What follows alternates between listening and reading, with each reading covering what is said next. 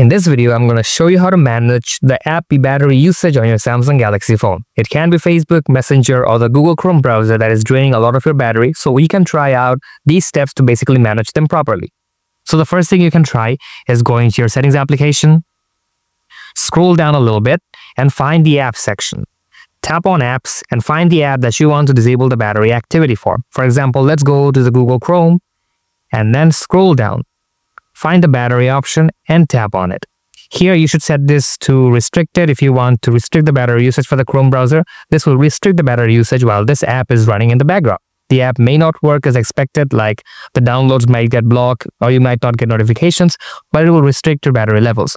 If you set this to optimized, it will basically means that it will optimize the battery usage depending on your charge limit. So choose whatever you like and that will do the trick for you. Now you can repeat this process very easily from your home menu as well. Just press and hold on to the app that you want and you will find the eye icon over here. Tap on this and go down and follow the very same steps to go to battery and choose whatever you like, unrestricted, optimized, or restricted. And that's basically it. That's how you basically manage the battery usage on your Samsung Galaxy phone for specific apps. If you found this tutorial helpful, then be sure to give it a like and subscribe to this channel. Thanks a lot for watching.